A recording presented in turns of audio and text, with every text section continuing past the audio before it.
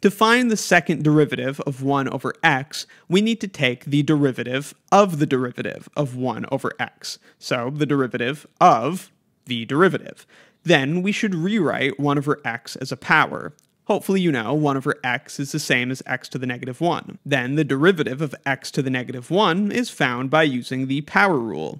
Bring the power of negative 1 down in front as a factor, and then reduce the power by 1.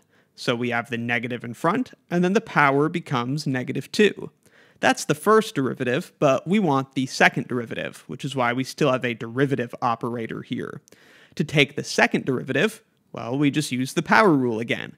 That means the power of negative 2 will come in front as a factor. There's already a negative, so the negatives will cancel out.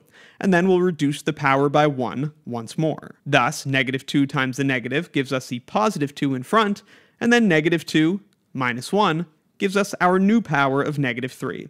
And that's the second derivative of 1 over x. If you prefer to write it without negative powers, you can move the x to the denominator and hence get 2 over x cubed. Either one of these is fine. Let me know in the comments if you have any questions, and be sure to check out my Calc 1 course and Calc 1 exercises playlists in the description for more. Thanks for watching.